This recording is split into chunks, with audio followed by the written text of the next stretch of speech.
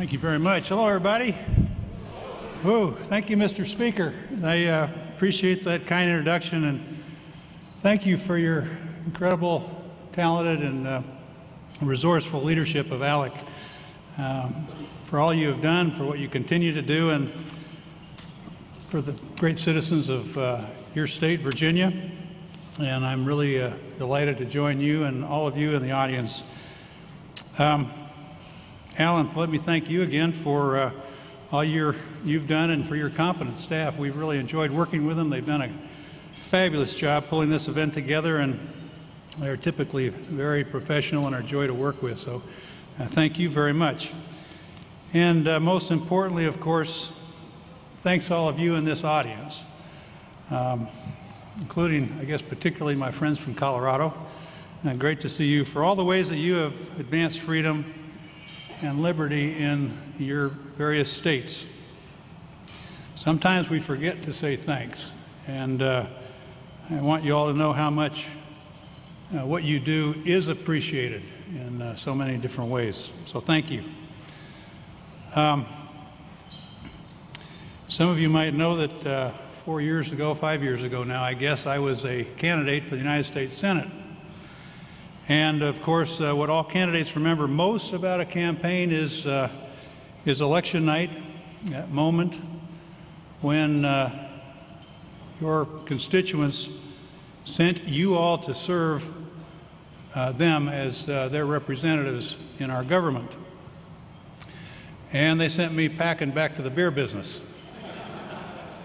And I think I remember having a few beers that night, actually.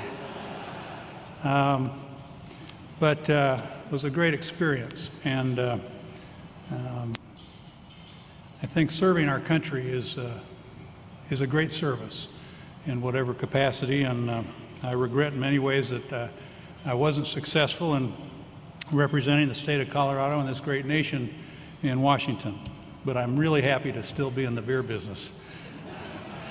Um, Mr. Speaker, you correctly noted in your introduction that I'm here today in my capacity as chairman of Adolph Coors Foundation and Castle Rock Foundation.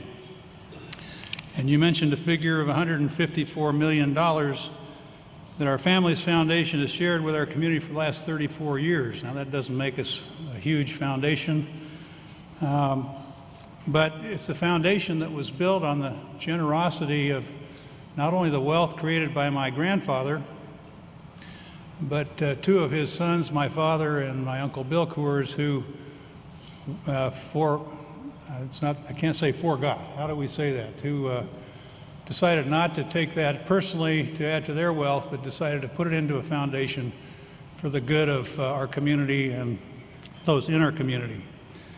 $154 uh, over 34 years doesn't really tell the real story. Um, it is a story of the programs to stem domestic violence, to stop meth use amongst our kids, to help those with mental and physical disabilities, to support the Boy Scouts, libraries, the arts hospitals, the Denver Zoo, pregnant teens, and many young presidents at children's, uh, young patients at Children's Hospital, and to help young minorities become successful businessmen and businesswomen, engineers, and productive members of our society. Many, many more, but you get the idea. Through the great American tradition we call philanthropy, virtually every resident of Colorado has been touched in some way by the voluntary, and I stress voluntary, generosity of my family's forefathers. But,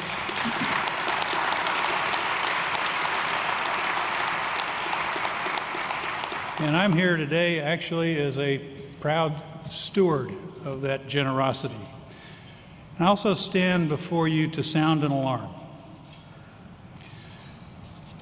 Our rich American tradition of voluntary philanthropy uh, is under attack. And it's a battle that is coming to a state house right near you.